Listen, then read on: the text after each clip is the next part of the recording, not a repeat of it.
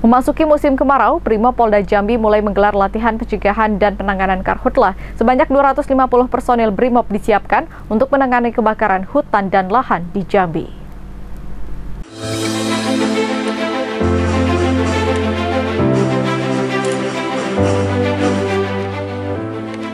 Satuan Brigadir Mobil atau Sat Polda Jambi menggelar pelatihan pencegahan dan penanganan kebakaran hutan dan lahan di Provinsi Jambi.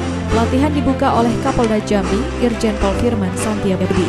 Kegiatan yang berlangsung selama satu hari tersebut bertujuan meningkatkan kemampuan dan keterampilan serta pengetahuan personil Polda Jambi, khususnya Satprimo Polda Jambi, dalam menghadapi berbagai bencana, khususnya kebakaran hutan dan lahan.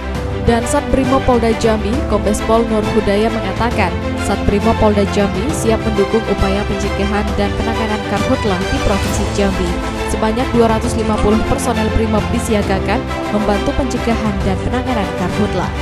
Ini adalah kaitannya pelatihan ini. Kita bekerja sama dengan Manggala Agni dalam rangka mempersiapkan membekali anggota kita di lapangan.